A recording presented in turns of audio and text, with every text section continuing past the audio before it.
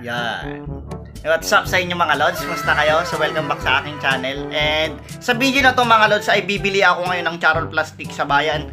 So kailangan na natin ng stock dahil wala na tayong supply, naubusan na tayo kaya wala na tayong masyadong napapalipad na guryon dahil kailangan na natin ng ano eh, pabalat eh. Tingnan nyo, may mga guryon tayo dyan na wala pang pabalat. So, kaya ako bibili ng stock para syempre hindi na tayo pabalik-balik ng bayan dahil mahalang pamasahe, di ba? Pero before ko start tong video, uh, minanyayan ko muna kayo na mag-subscribe sa aking team Kapalipad. Sa mga hindi pa nakapag-subscribe, anong pang hinihintay nyo, di ba? Subscribe na kayo kung gusto niya pa ng ibang tips pagdating sa Ranggola. So, visit nyo ng kanilang mga channel. Sure ako matututo kayo at mag-enjoy kayo sa kanilang mga video, okay?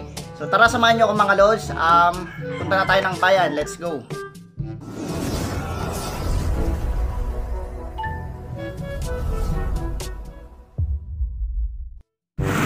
So, ayan. Nakasakay na tayo ng tricycle mga lods.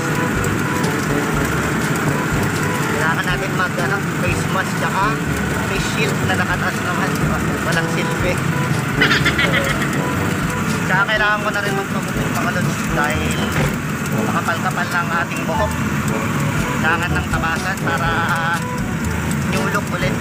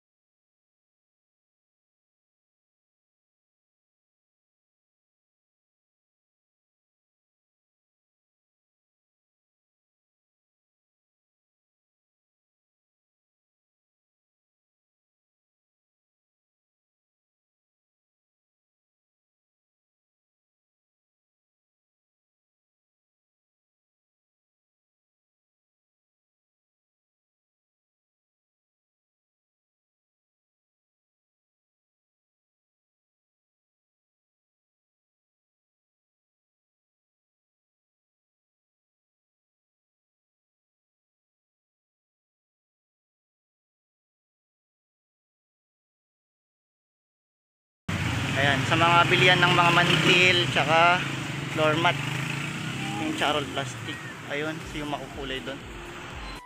So ang bibili natin mga lods, um, 3 yards na kulay blue, red, yellow kasi yun naman yung paborito kong kulay.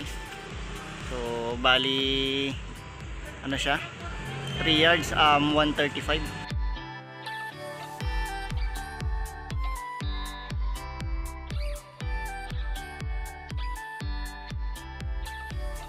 Yan no, so bali nakawin ako mga lods. Ang napakainit sa labas. Ayan, natupi ko na.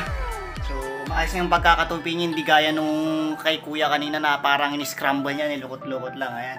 So, may gagamitin na tayo para sa mga guryon natin mga lods. Um, excited ako na gamitin tong mga to para makapagpatayog na rin at makagawa na rin ulit ako ng pambagyuhan na mga saranggola natin. Okay?